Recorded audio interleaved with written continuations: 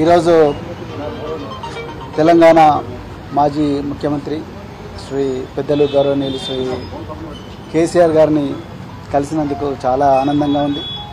మరి ఈ తెలంగాణనే కాదు యావత్ భారతదేశం కూడా ఈరోజు లౌకికత్వం అంటే సెక్యులరిజం లౌకికత్వం ప్రమాదంలో ఉన్నది.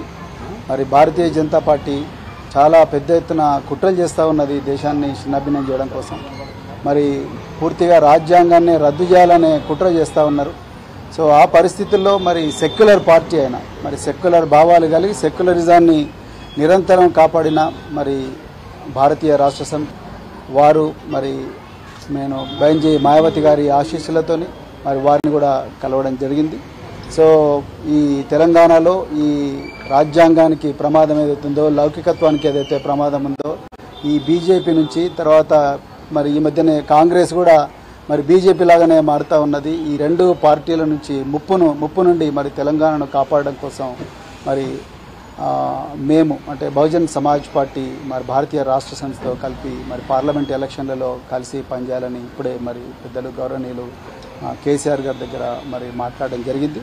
మరి తప్పకుండా మరి ఇంతకుముందు మీరు అన్నట్టుగా సీట్ల సర్దుబాటు విషయం ఏదైతే ఉందో ఈ షీట్ షేరింగ్ విషయం అయితే మళ్ళీ మేము మా అధిష్టానానికి నివేదిస్తాం. అదేవిధంగా మరి మన మాజీ ముఖ్యమంత్రి గారు తప్పకుండా బయంజీ గారితో కూడా మాట్లాడతారు. సో దాని తర్వాత మరి ఇరు వర్గాలు ఇరు పార్టీలు ఒక నిర్ణయానికి వచ్చి తర్వాత తప్ప- తప్పకుండా తెలంగాణలో ఈ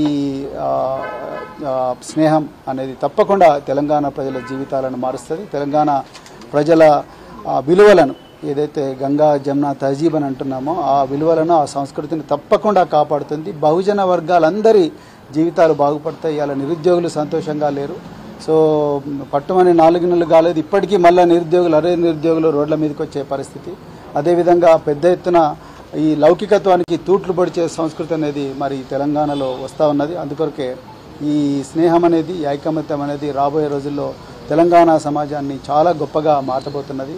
సో చాలా చాలా ఆనందంగా ఉంది అలా మరి ఈ విషయం మీతో మాట్లాడుతున్నందుకు. తప్పకుండా తెలంగాణ ప్రజలు దీన్ని ఆస్వాదిస్తారు ఆశీర్వదిస్తారని చెప్పేసి నేను కోరుకుంటున్నాను కేసీఆర్ గారు మరి ఈ సమయం మాకు ఇచ్చినందుకు మరొకసారి ధన్యవాదాలు. అన్ని అంశాల్లో కలిసి పనిచేస్తారు రెండు పార్టీలు. ఇప్పుడు పార్లమెంట్ ఎలక్షన్స్.